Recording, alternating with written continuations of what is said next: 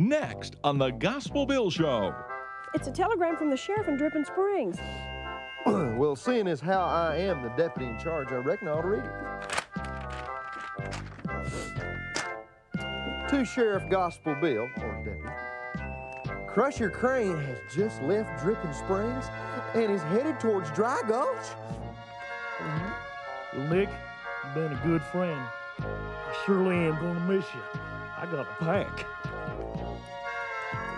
Did you say Crusher Crane? Yeah, Crusher Crane. Nicodemus, you're dead meat.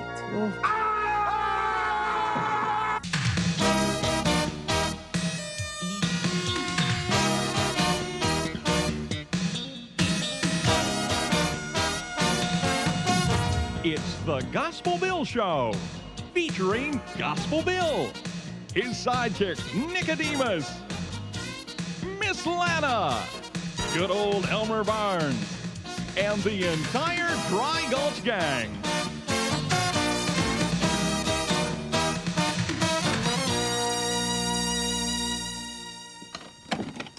Hey, GB, where come you looking for me? Yeah, Nicodemus, listen, I need you to watch Dry Gulch for the next couple of days. Well, you know I'd be glad to help you any way I could. Where you headed? Well, you've heard of that outlaw Crusher Crane? Crusher Crane? Why, he's the meanest outlaw in the country and the biggest. Yeah, you can say that again. Well, he's been causing all kinds of trouble down the southwest part of the county, and I've got to ride down there and see if I can catch him, Nicodemus. Oh, Gospel Bill, now you be careful with Crusher Crane. Why, if he gets a hold of you, you're dead meat. Well, don't you worry about that. I aim to watch my step around that rascal. Here's your badge, and I don't ordinarily do this, Nicodemus, but since it's Crusher Crane, I think you ought to wear that pistol down that bottom drawer. Oh, oh, oh, thank you, Gospel Bill, a whole bunch. Why, that'll make me feel better with Crusher Crane around. See you later, Nick.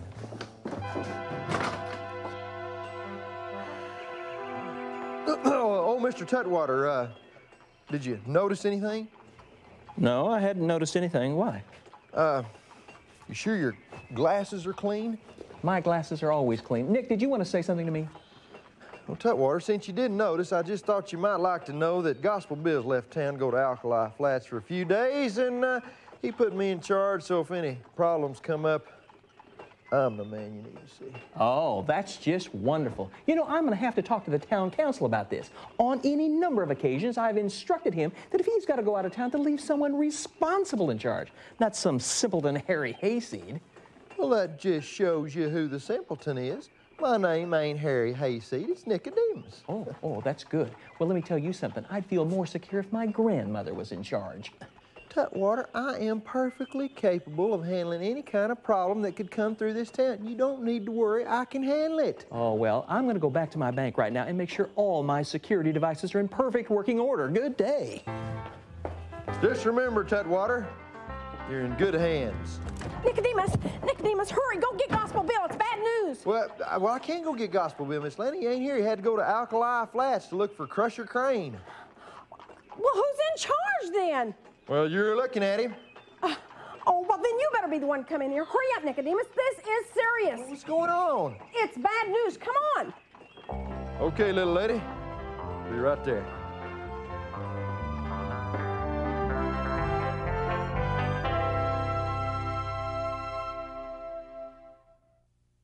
It's a telegram from the sheriff in Dripping Springs. well, seeing as how I am the deputy in charge, I reckon I ought to read it. To Sheriff Gospel Bill, or his deputy, Crusher Crane has just left Dripping Springs and is headed towards Dry Gulch.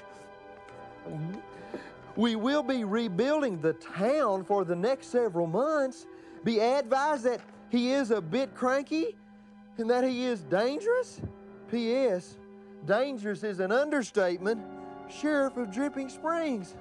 Oh, Miss Lana, did you hear that? Crusher Crane is headed towards Dry Gulch. He is the meanest, the orneriest, and might I add, largest outlaw in this whole territory. I mean, Crusher Crane is an ex-world champion wrestler. He's so strong, he can pin five men with just one arm. And that's while he's resting. And Gospel Bill's on his way to Alkali Flats, and, and there's no way we can reach him. Oh, Miss Lana, I pity the poor man that's going to have to stand up face to face, eyeball to eyeball to Crusher Crane when he gets here. Reckon who it's going to be? Nicodemus, Huh? I know who's going to face Crusher Crane. You do who? You. Me? What are you talking about? Well, Gospel Bill left you in charge. Well, yeah, I know he left me in charge, but I'm in charge of things like double parked horses and, and, and vagrants and, and making sure the ice cream parlor runs good. Not, not running down desperate desperados like Crusher Crane. Now, Gospel Bill left you in charge, and he believes in you. And besides that, if God be for you, who can be against you? Well, Miss Lana, I know that scripture's in the Bible and all, but I gotta face Crusher Crane. I gotta have some reinforcements. Uh, I'll see you later.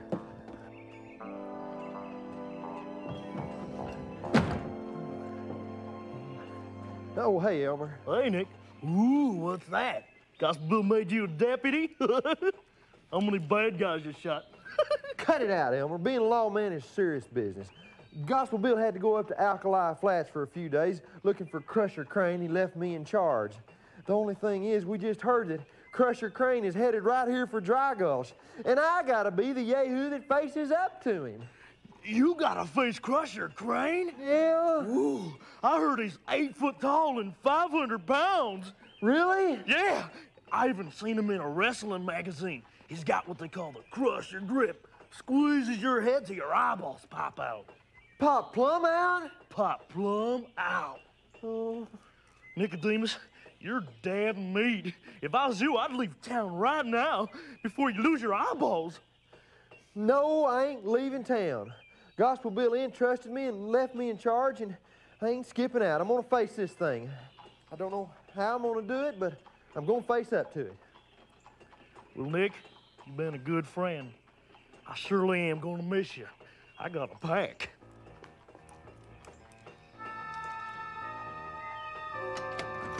What am I gonna do? I can't let Crusher get me. I don't want my eyeballs popped out. Not plumb out anyway. I,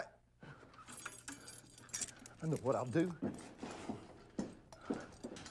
I'll lock myself inside this here jail and I'll swallow the keys.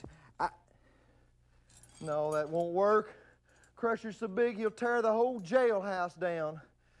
What am I gonna do? I can't let Gospel Bill down. What would he do in this situation? I, I, I need some friends to help me. Yeah, I need me some deputies. Yeah, that's what I need. Yeah, we're not whipped yet. Nicodemus to the rescue.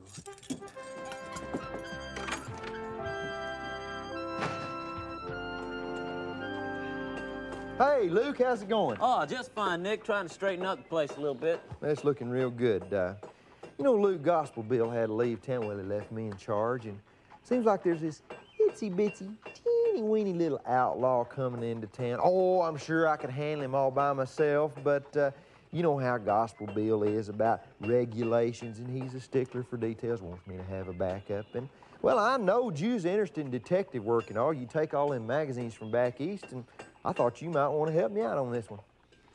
Oh, Nick, I'd love to. I've been dying for a chance like this. By the way, what's the name of this fella anyway? Oh, his name is uh, Crusher Crane. Uh, what'd you say, Nick? Uh, his name's Crusher Crane. Did you say Crusher Crane? Yeah, Crusher Crane. The Crusher Crane? Yeah. He stands 12 feet tall, weighs 900 pounds? No, he don't. Neither. He just stands eight foot tall and weighs 500 pounds. Well, I heard he could take a man's arms, tie him in a square knot so tight that it'd take all the rangers in this territory to untie it. Really? Really?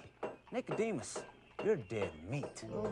I'll tell you what, you take on Crusher Crane, and I'll take care of your funeral arrangements. Well, can I take that to mean that you'll help me then? Well, he's probably got something else to do.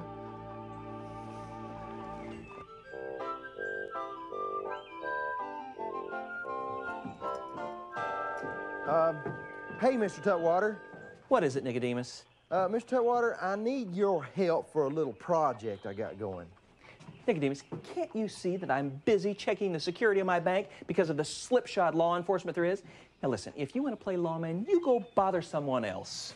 But Mr. Tutwater, there's this certain, certain individual coming into town, and uh, well, I thought maybe you could help me form a welcoming committee for him. Yeah. Listen, I just told you I was busy. Ah, but then again, what is this person's name? I mean, might he have some money? Well, I know he's been in a lot of banks. Uh, uh, his name is uh, Crusher Crane. Crusher Crane? I just read an article about this guy. They say he's as big as a barn. It even said that someone didn't answer their door in time when he knocked, and he ripped the house off the foundations and threw it into a field next door. Really? Yeah. Well, does that mean you won't help me? No, I'm not going to help you. The only person I'm going to help is me, and I'm going to close my bank and get out of town while I can. Oh, listen, Nicodemus, little friendly piece of advice. If you see him, take off the badge, or you're going to be dead meat. I just gotta find somebody to help me. I can't let Gospel Bill down.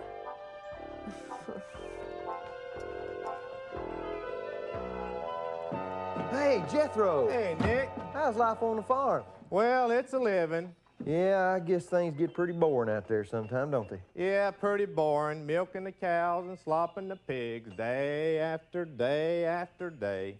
Say, uh, Jethro, you ever long for a little more excitement in your life? Now, I did something exciting one day, did it all different. Went out there and I milked the pigs and slopped the cows. But it wasn't really that much fun. No, Jethro, I'm talking about some real excitement. Yeah, what? Well, Jethro, I'm talking about spies, secret agents, espionage, undercover work, official type work. Yeah, what I gotta do? Well, Jethro, this is your lucky day. See, Gospel Bill left town. He left me in charge. And there's this outlaw coming in, and I need you to help me catch him. Outlaw, huh? What's this outlaw's name?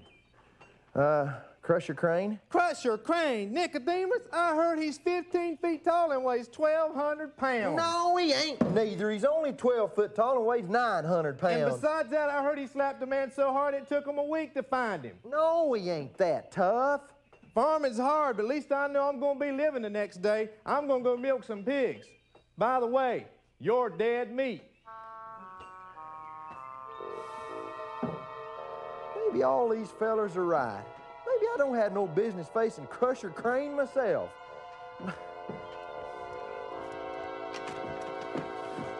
What in the world am I gonna do? Whatever give me the notion I could fight a big time outlaw like Crusher Crane. He's gonna turn me into dead meat. Nicodemus, is Crusher Crane in town yet? No, cut it out, Elmer. Guess not. So you still got your eyeballs. Elmer, that ain't funny. Oh, I know. But you know what else I heard about Crusher? No. One time he punched his own mama right in the mouth. His own mama? Uh huh. Of course, stories told she started the fight. And then there's this other time. He took two lawmen, just like you, squeezed them together so tight they became the first unborn Siamese twins. Oh, oh, I gotta go somewhere, Elmer. I gotta go think. I gotta go out to the ranch, uh, to the barn. I'll see you later. Chicken liver? I just knew he'd leave town. What am I doing in here? I better get out of here myself.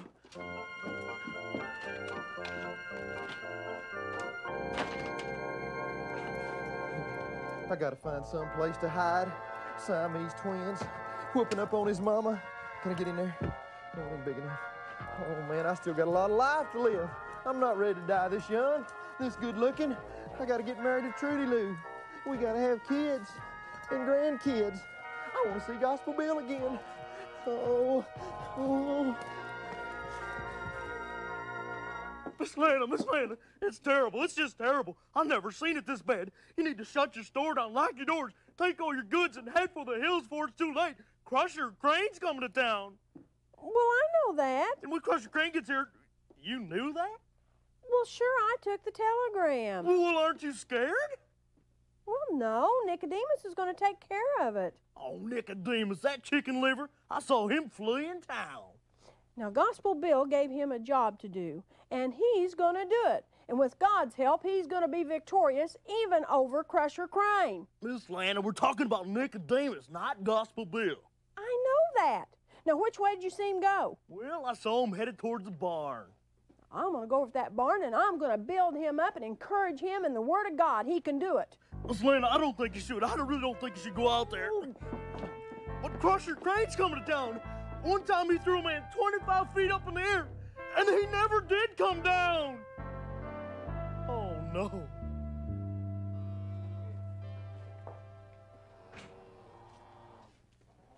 Nicodemus, are you in here? No, Well, then who is that? uh, nobody. Nicodemus, what are you doing hiding behind that bale of hay? Uh, well, I'm not really uh, hiding back here, Miss Lana. I'm just kind of uh, back here thinking, you know, meditating. Yeah, uh, uh, meditating, that's what I'm doing. Well, it seems to me like you need to be meditating on the Word of God. Um, Miss Lana, you don't understand. Crusher Crane's coming to town. Why, he's whipped a whole lot of lawmen a whole lot tougher than me.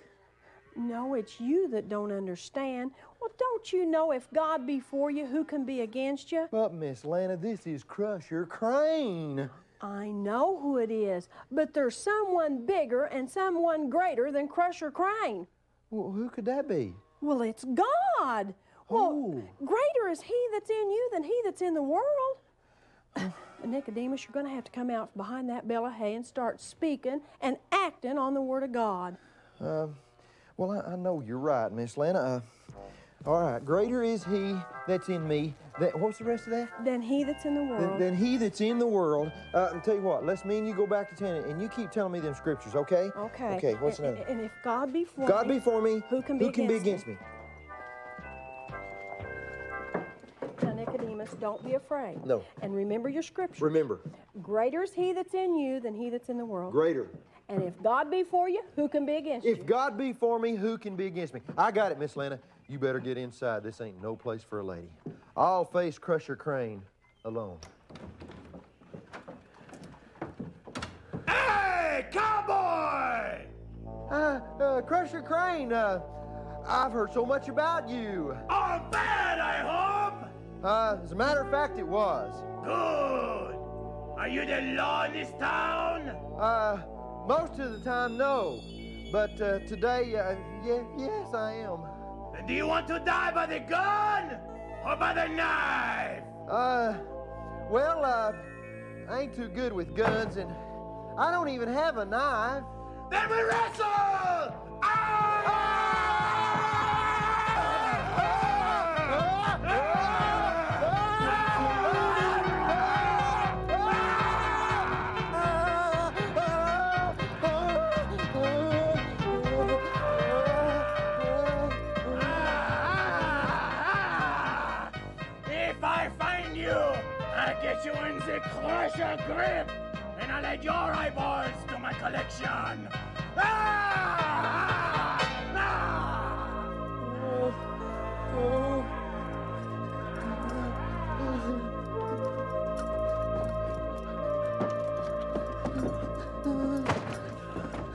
Guy's gonna kill me. What am I gonna do? I don't need to be talking like this. I need to use God's word. I can do all things through Christ which strengthens me. Greater is he that's in me than he that's in the world. If God be for me, who can be against me? If God be for me, who can be against me? Hey, a book. A book. I got an idea.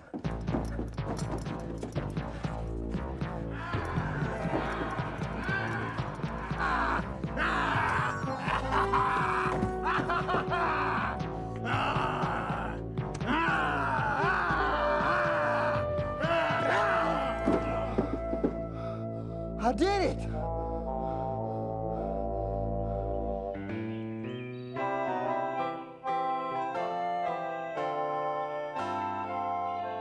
So there we were, Miss Lana. I'm running for all I'm worth, and Crusher Crane is hot on my trail. So I duck into the jail and hide behind the door. And all the time I'm quoting that scripture. If God be for me, who can be against me? If God be for me, who can be against me? And then I got the wisdom of God and I spotted it. A book. You took time out to read a book? Oh, I didn't take time out to read a book. I- I went and grabbed a book off the shelf, the biggest book I could find, and I went back, hid behind the door, and then he sticks his old ugly head in, and blammo, oh, I let him have it, and he turned to jelly. And now he's in custody. Well, good afternoon, Lana. Nick? Cut. Listen, I thought I'd just stop by and congratulate you for apprehending old Crusher Crane. Well, thank you, Mr. Tutwater. I know this outward appearance may look rather simple, Yeah, but inside this facade beats the heart of a lean, mean, fighting machine that upholds every letter of the law when called upon. Of course, if it hadn't been for God's word, that guy would have killed me. well, I, don't know about that, but I do know that I just came over here because I needed to tell you that, uh, well, that I was, uh, sorry, for uh, doubting your abilities. Wait a minute. Miss Lane, did you hear that? Tutwater, did you actually say the word sorry? Look at Nick. Don't push it. Now, if you didn't hear it the first time, that's not my problem. Now I do have more important things to do. Good day.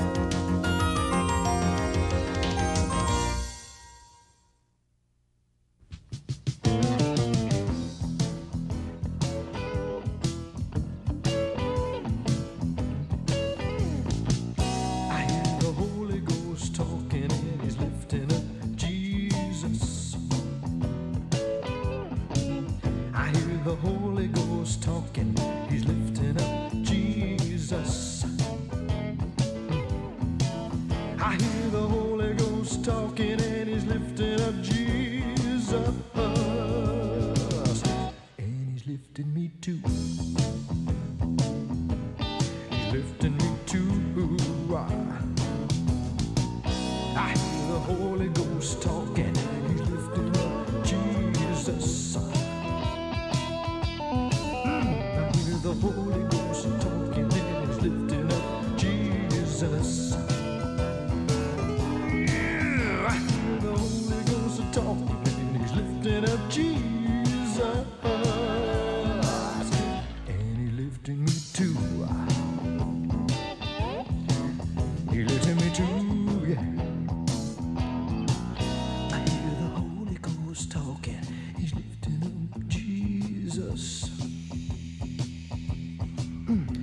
Hear the Holy Ghost talking.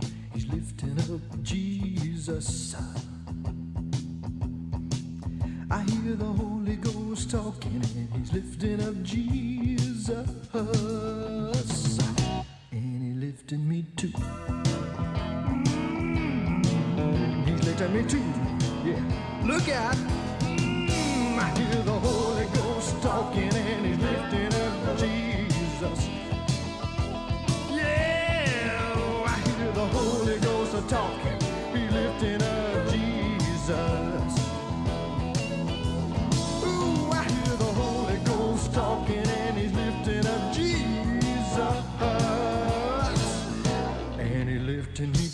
Now,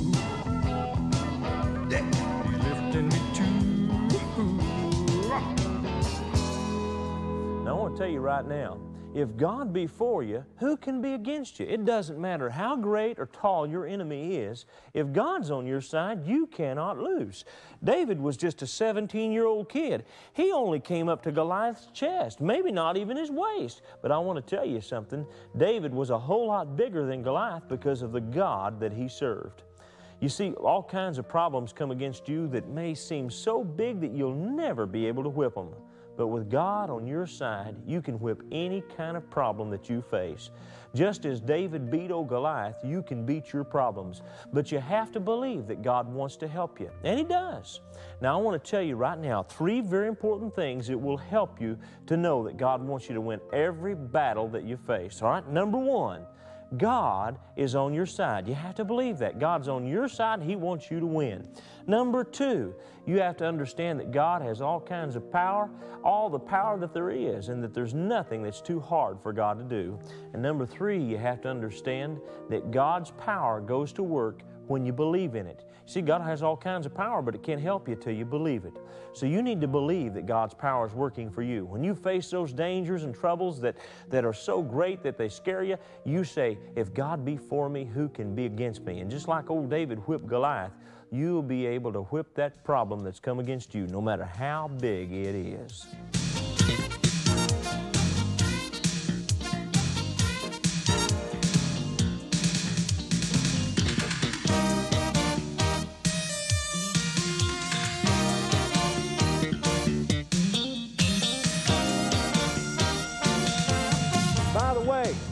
Dead meat.